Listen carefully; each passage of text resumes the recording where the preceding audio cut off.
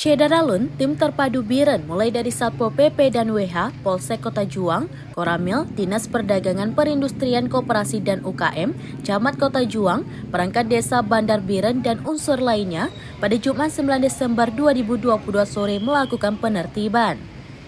Penertiban dilakukan di ruas Jalan Langgar Square atau depan Menasah Kota. Di ruas jalan tersebut ada sejumlah pedagang musiman berjualan durian, jualan pulsa, kios kecil dan juga menjual pulut. Mereka diminta tidak berjualan di kawasan tersebut, tenda jualan dibuka bersama dan dipindahkan. Amatan Seraminus.com tim terpadu mendatangi pedagang dan menjelaskan maksud kehadiran mereka. Kemudian meminta para pedagang untuk membongkar tenda jualan. Beberapa pelapak langsung membongkar dibantu anggota Satpol PP dan WH.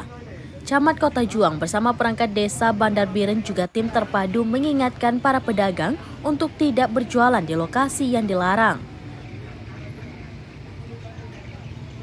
Ketua Tim Terpadu Penertiban Kabupaten Biren, Khairullah Abid SE mengatakan, penertiban digelar dalam rangka menciptakan kelancaran arus lalu lintas di sekitaran pusat kuliner Langgar Square, khususnya di sebelah utara jalan yang pada waktu tertentu terjadi kemacetan.